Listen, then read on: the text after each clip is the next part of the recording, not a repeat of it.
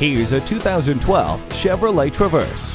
This vehicle comes loaded with a security system, multiple airbags, and a trip computer. It also features a CD player, keyless entry, and a driver information center. It also provides convenience with its tilt and telescopic steering wheel, tire pressure monitor, and power windows and mirrors. Why not get the best for you and your family? Get behind the wheel of this great Chevrolet today.